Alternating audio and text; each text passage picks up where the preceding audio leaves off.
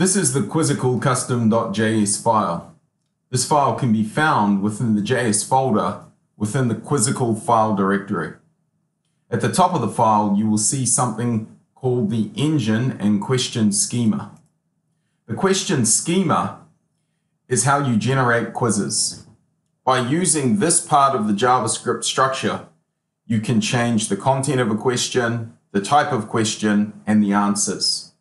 Quizzical has been built to make quiz generation as easy as possible. You can see here that we have three questions. If I copy question number three, go directly below it and put a trailing comma after the last bracket at the bottom of the third question, being sure to leave no trailing comma for the last bracket in the four questions I can easily generate a new question for the quizzical schema.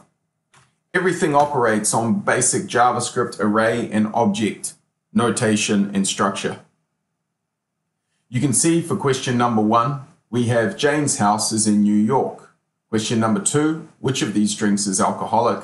Question number three, which of these animals are carnivores? And question number four, I will change to which of these animals are herbivores. The answer A and D I can also change, this time A and B. And I will change lions into sheep. B cows is going to be correct. And sheep I will change to crocodiles. Now we have A, B as the correct setting for this question, sheep and cows being the right answer for herbivores. If I save this and go back to the quizzical generator, we will now see that the quiz has changed structure.